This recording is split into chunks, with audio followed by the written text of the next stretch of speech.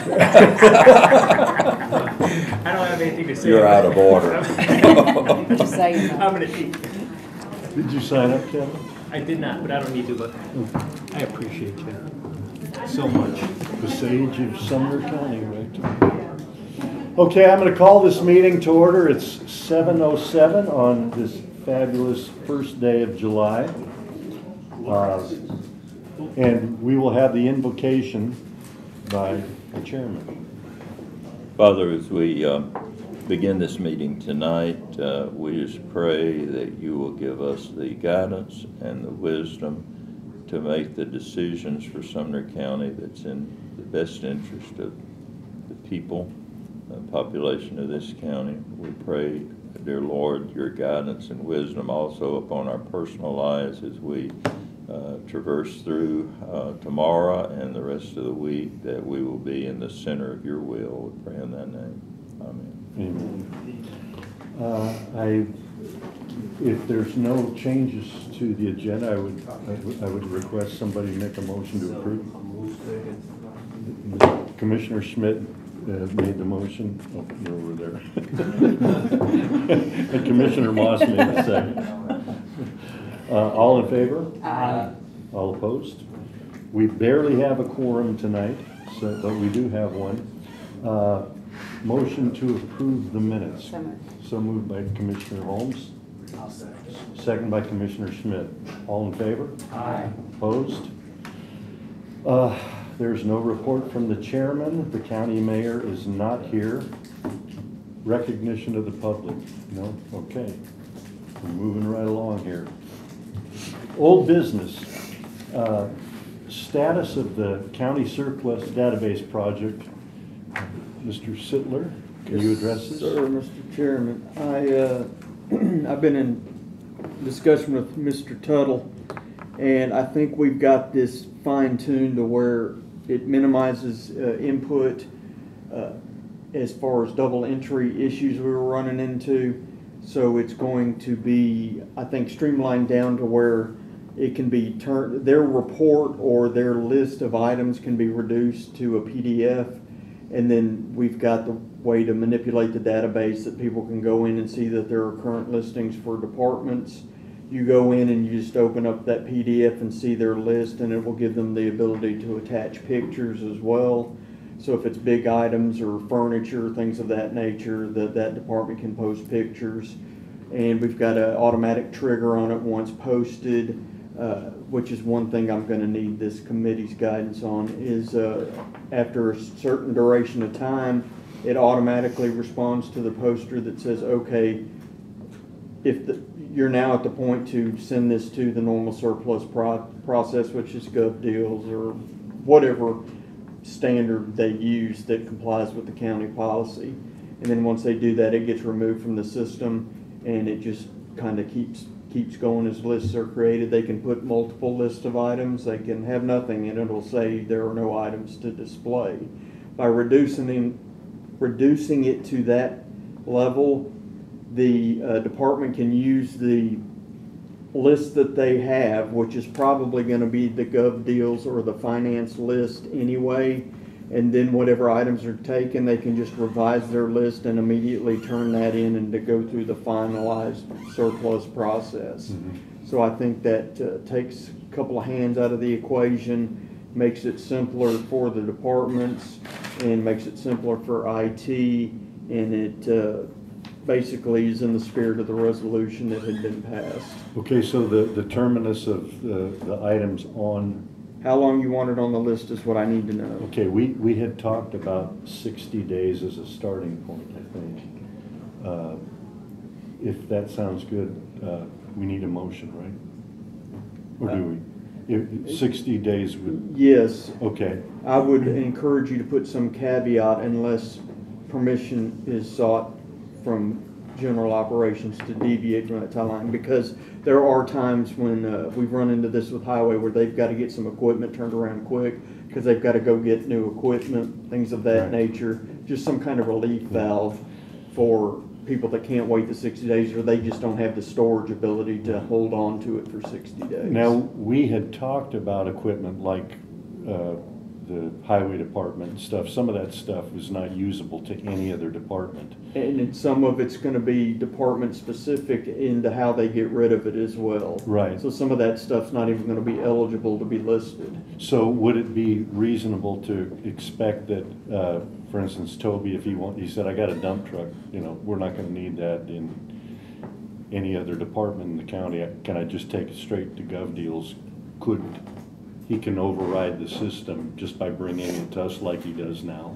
Yes, I- that's what the kind of relief I'm looking for from any department, for Okay. any department, Okay, is the so, ability to do that. so I would, I would think it would be prudent to, uh, have us make a motion for, uh, all things would be on, uh, on the list for sixty days unless a department would want to, would, would see that no other department could use it and they, they could bring it straight to us, uh, to, to take to gov deals. Or if current law prohibits them from disposing of the property Okay. in this fashion. Oh, okay, Sheriff's Department's a prime example. They've got some stuff that can either go to another sheriff's department or has to be dealt with a specific way. okay, okay, so, um, did you get that motion?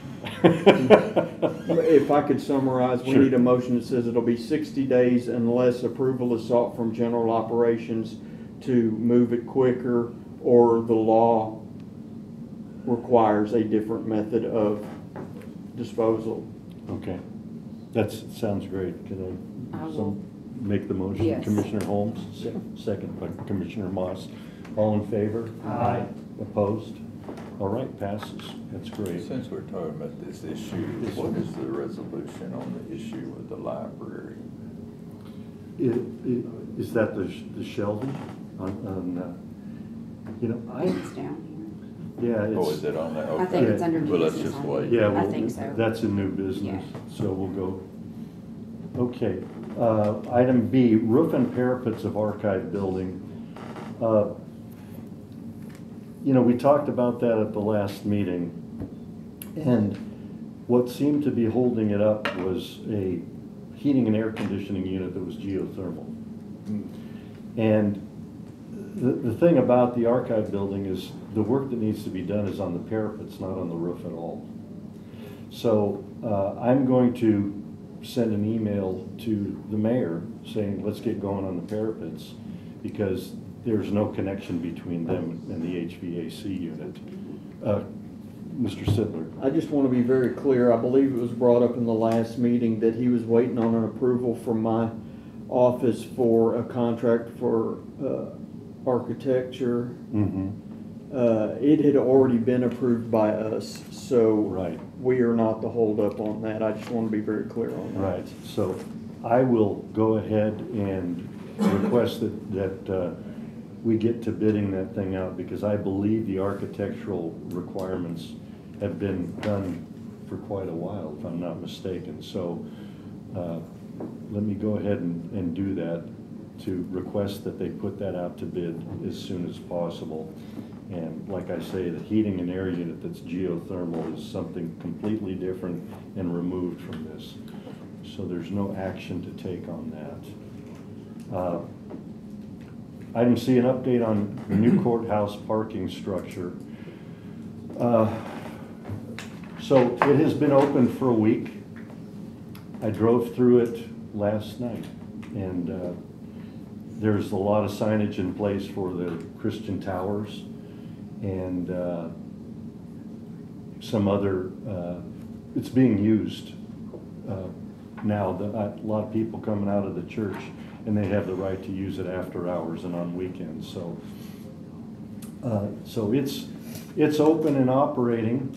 Uh, The um, storm drain issue, I, I did speak to the contractor who's doing the water line for the city, and he was supposed to start today, but I drove down there and, and he has not. My, my hope is that we can get this thing bid out fast enough so that it will, there will be total continuity between putting the new water line in. They're gonna abandon two water lines and, and put in a new one. And then, once that's done, we can put our storm drain in. So, uh, Ms. Norfleet told me that it would probably be about three weeks, but that the bidding documents were ready to go. We'll probably, or hopefully, get that out to bid next week. Uh, She's gone this week. Seems like everybody's gone this week. So that's where the storm drain sits. Uh, And then, uh, as far as the, the library parking, uh, there, I drove over there today, there are signs up that says for library, uh, pe- people, they're using the library only. I was told by Miss Norfleet that, that Toby is making some signs that would be perm, permanent and talk about, you know, cars will be hauled off if, if they don't, uh, if they're not there for the library. I did talk to one wrought iron contractor. Uh, If we were to put a fence between the new courthouse and the library, this particular contractor had a, a minimum charge of twenty-five hundred dollars. So if, if we decide that we need to put a fence between, and we haven't determined that yet, we could probably put that out to bid, or I could at least call some other contractors, but I just called the one. And so that would be the most I think we would pay is twenty-five hundred dollars. And that's basically set up for a day's work. It would be a commercial grade, which is substantially better than a residential grade, be much heavier steel and last a lot longer. So that's pretty much the update on uh, parking structure and other parking issues around it. Are there any questions with that? Do you want B and or C to go, stay on hold? Uh, I think B can come off. Okay. I believe C can come off as well, and if, if uh, we're still having trouble with parking there, once the signs are up, then we'll, we'll resurrect it. Okay. Uh, Update on main chambers of the AV system. I did talk to Mrs. Templeton today. She was hoping to have a price for the twenty-inch goosenecks and the twenty-seven-inch goosenecks today, but the uh, supplier didn't get a written proposal to her and didn't give her a verbal one either yet. So we should uh, keep that one on and defer that till next month. Uh, Results of meeting with the state uh, fire marshal in Millersville City. uh, Codes regarding the Bethel EMS facility. Uh, th- There was no resolve, if you remember, from last month. So what I did is I had a meeting with an architect. And like the goosenecks, uh, he was gonna get back to me by today and he didn't. So I should have a proposal for architectural work to make those uh, two sleeping quarters legal by, by building code. I did talk to a- an electrical contractor regarding the forty-six hundred dollar, two hundred and forty volt extension. After going over to the building, I discovered there was a fifty amp, two hundred and twenty volt box on the other side of that masonry wall. To make that code legal, we would have to uh, disengage the stove that is in that kitchen right now. But I believe there's a stove in the, the temporary sleeping quarters that would work. That, that, that is a thirty amp, uh, I believe, plug for, for that sleeping, that temporary sleeping quarters.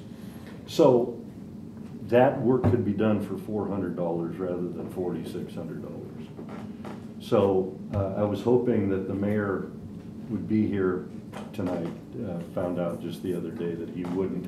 So I will make a special request to have him go ahead and authorize the expenditure of a maximum of four hundred dollars so that we can get rid of that generator that's quite costly there.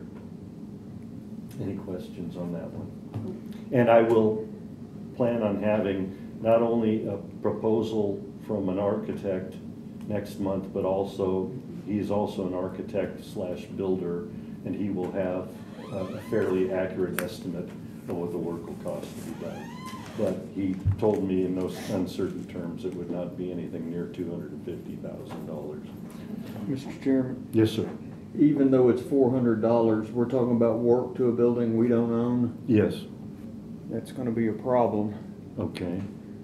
T- Tell, tell me what kind of problem. It's not our building. I don't think we can just go in there making changes regardless of how nominal they are. Okay, So we take on a lot, a lot of liability for work we tell them we're gonna do all to a right. building we already have problems with. It's not our building to begin with, so I don't even know that, that, uh, this committee has authority to dictate what goes on in that building, Okay, other than making suggestions. what did we do in renting the temporary sleeping quarters and the generator that, That became an emergency Mayor did it. Uh, and where that's at now, I don't know. I'm imagining that will hit, uh, this committee again on whether to continue it or not, because as was been pointed out many times, that's been going on for sixteen years, I think. since this applies specifically to those temporary quarters, could it also? be- You're talking about a permanent fixture that's on the building. Okay, well, yeah. And I know I'm splitting hairs, but at the end of the day, it's like me coming to your house because I want to plug in and me doing all your electrical work the way I need it. Well, maybe I can talk to the city of Millersville, maybe they can cough up four hundred or less to do Okay. the work. So, okay, uh, I will, I will look into that with the city of Millersville. All right, uh, okay, so that took care of item E and F. Uh, Hendersonville Health Department status, I spoke uh, with Hal Hendricks today. There's going to be a meeting a week from today. He didn't have the time yet. I've asked if I can sit in on the meeting, and he said absolutely. It's, it's with the architects. So uh, we'll, it, it's the first draft of a, of a floor plan. And so I, I guess we're a ways out on that, but I can, uh, take notes and I could e- either follow up with a, with an email or I can just report it at the next, uh, Gen Ops meeting. So, uh, may, maybe I'll just, I'll just do, uh, I'll just do it as a report at the next Gen Ops meeting, if, if that's okay with everybody, okay? Uh, Cottontown flooding, I've been working uh, with Commissioner Jones, but also with Josh Suddeth and his engineer, Marshall Boyd. And they have reached out to TDOT, and TDOT has agreed, uh, and I believe they have pulled their permit, and they're going to clean out underneath the bridge and at least sixty feet downstream more if, if the, they can get that to happen with, uh, uh, with the permit that they have. And I think Josh told me sometimes they're allowed hundred feet. Uh, I think we need hundred feet, but we'll, we'll see what happens. And then when, once they schedule that work, uh, we'll find out more about the creek that ran along the south side that flooded out the Baptist church parking lot.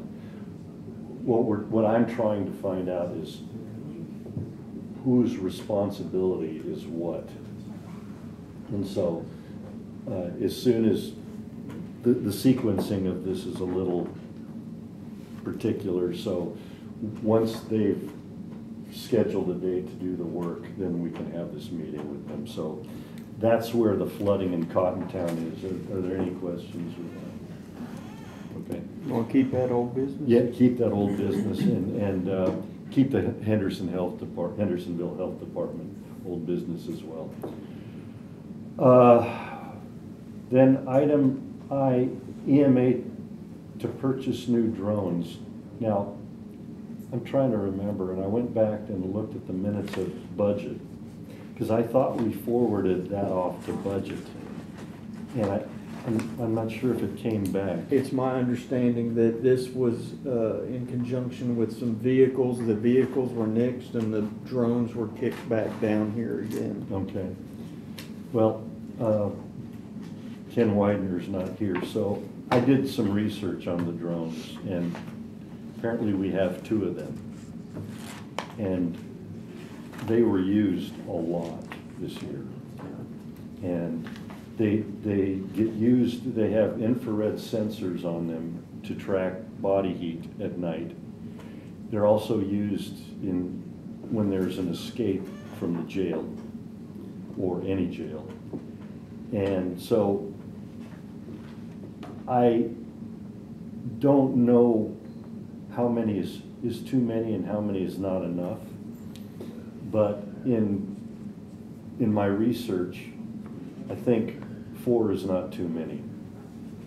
And so we can either defer this, uh, deny it, or put it forward to uh, budget again. And uh, For two?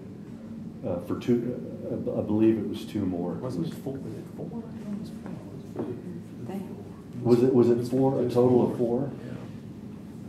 I don't, well, in the minutes from last month, it says purchase of truck and two drones. yeah, that's what I thought, it was two drones, a truck. That's what it says. It says two.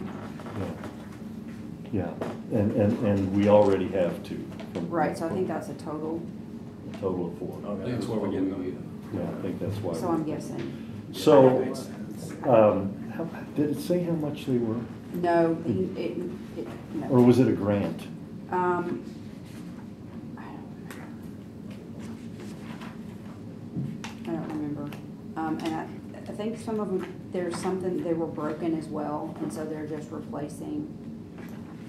Was that the one that had the insurance money? That there There- was some insurance money? There is an insurance claim on some drones. I don't know what the status of that is. We're still trying to figure that out in SIB. Okay. It, it would, and, and anybody can make an emo, a motion on this, but it would seem to me that we have too little information, that perhaps I should make a request. I think, Mr. Chairman. Yes, sir. I, I think they certainly would cut down on having to use people Yeah, and personnel. Yeah. And I mean, it's the thing that's really being used. Yeah. A great deal today. I, I think it would be wise for somebody to make Just a forward motion it. to do, go ahead and do. Oh, We could always have him at the budget if he, Yeah. if he's got any information he wants to bring, you know, That's- Mr. Weidner. and- that, that's true, and in fact, uh, if he gets back next week, I'll call him on Monday, and maybe I can bring something to budget committee that would, in line, because I, I agree, I, I think they're valuable, and, I'll So make I'll- him, no, go Go, ahead. which, No. make a motion to send the two drones. With Budget. a positive With a recommendation. positive I'll second. recommendation. second. Commissioner Harkins? All in favor? sig- Aye. Opposed? Okay. New business. Uh, Here, here again, I, I thought we already forwarded this surplus Ford Explorer. Did it get bounced back? I went, I went into the minutes of Budget Committee and I couldn't find anything. So